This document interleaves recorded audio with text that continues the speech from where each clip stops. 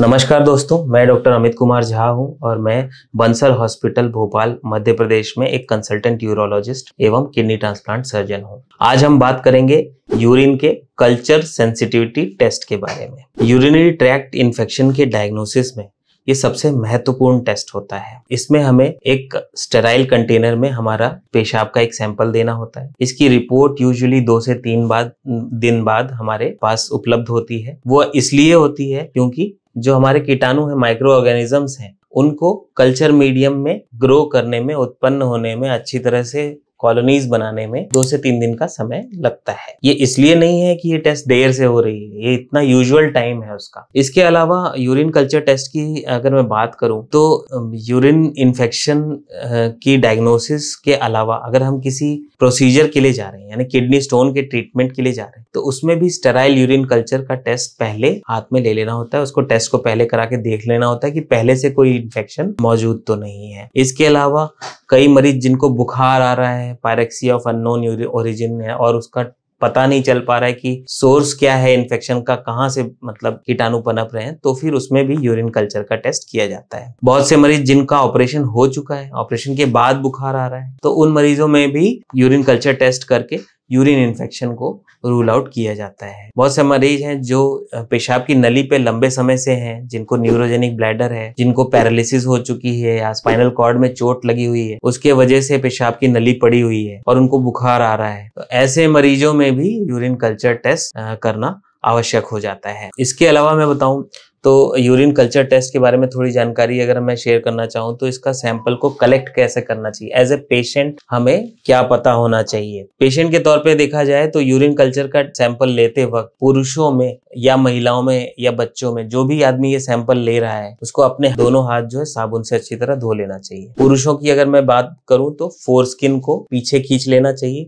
अपने आगे के हिस्से को स्टेराइल स्वैब से अच्छी तरह क्लीन कर लेना चाहिए लिंग के आगे के हिस्से को। उसके बाद यूरिन करना शुरू करना चाहिए। यूरिन करना शुरू करने के बाद शुरुआती पाँच से दस एम का यूरिन जो है वो ऐसे ही निकल जाने देना चाहिए। मध्य धार का स्पेसिमेन जो है मिडिल ऑफ़ द स्ट्रीम यानी पेशाब करने लगे। शुरुआत से पीछे का जो पेशाब आ रहा है, वो पंद्रह बीस एम यूरिन जो है, हमें इस तरह के स्टेराइल कंटेनर में लेकर उसको लेबोरेटरी को देना चाहिए। स्टेराइल कंटेनर होता है, इसको इस तरह से हम खोलते हैं। खोलने के बाद ये इसकी डिब्बी होती है, इसको ओपन करते हैं। हम लेफ़्ट हैंड में अपना पेनिस रखेंगे। लेफ़्ट हैंड में पेनिस रखेंगे राइट हैंड में जो स्ट्रीम है पेशाब की, वो बिना आजू बाजू के अंगों से टच हुए सीधा इस कंटेनर में जानी चाहिए। कंटेनर में जाने के बाद इसको अच्छी तरह से कैप लगा देंगे। कैप लगाने के बाद ये लेबोरेटरी को हम सौंप देंगे इसको टेस्टिंग के लिए। अब पुरुषों की बात हो गई। महिलाओं में क्या होता है कि उनका पेशाब की नली ऐसी जगह होती है कि पेशाब करते समय पेशाब जो है आसपास के हिस्सों से, चमड़ी से टच होकर भी आ सकती है और ऐसे में जो ऑर्गेनिज्म कीटाणु ग्रो होगा, वो चमड़ी के कीटाणु ग्रो हो जाएँगे इसमें। तो उससे हमें सही आइडिया नहीं लगेगा। तो ऐसे ऐसे महिलाओं में जब सैंपल लेना हो तो पहले तो लेफ़्ट हैंड से आगे की चमड़ी को थोड़ा फैला लेना चाहिए, ताकि पेशाब की धार जो निकले वो सीधा कंटेनर में आए, आसपास के अंगों से टच हुए बिना।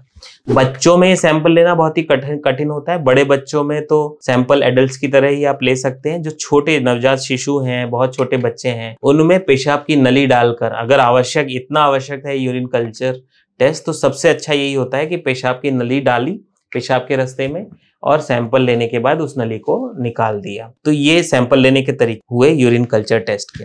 ये कल्चर टेस्ट को लेबोरेटरी में एक पेट्री डिश होती है, उसमें इंक्यूबेट किया जाता है, एक एम यूरिन जो है उसमें डाला जाता है और तीन दिन तक उसको ऐसे ही छोड़ दिया जाता है। अड़तालीस से बहत्तर घंटे तक उसको ऐसे ही छोड़ दिया जाता है। उसमें छोटी छोटी कॉलोनीज बन जाती है। जैसे आपकी कॉलोनीज बनती है, ऐसे माइक्रो कीटाणुओं की भी कॉलोनीज बनती है। एक अमल यूरिन में अगर किसी पेशेंट को कोई सिम्टम्स नहीं है, कोई भी लक्षण नहीं है जलन नहीं हो रही है, बुखार नहीं आ रहा है, पेशाब में फाउल स्मेल नहीं है, पेशाब बार बार जाने की इच्छा नहीं हो रही है, कोई भी सिम्टम नहीं है कल्चर टेस्ट कराया है और एक एमएल में एक लाख से ज़्यादा कॉलोनीज अगर कीटाणुओं की बन गई है तो उसे हम पॉजिटिव टेस्ट या सिग्निफिकेंट मानते हैं, यानी आपको यूरिन इन्फेक्शन होने के काफ़ी प्रबल चांसेस हैं। जिन मरीजों को सिम्टम्स हैं, उनमें एक एम में अगर 100 कॉलोनी फॉर्मिंग यूनिट 100 कॉलोनी से ज़्यादा भी अगर बन जाती हैं तो उसको पॉजिटिव टेस्ट माना जाता है। तो ये यूरिन कल्चर के टेस्ट के बारे में था। यहाँ दो तीन पॉइंट मैं ऐसे बताना चाहूँगा, जिनको पेशाब की नली पड़ी हुई बहुत टाइम से न्यूरोजेनिक ब्लैडर वगैरह है, उनमें ऐसे ही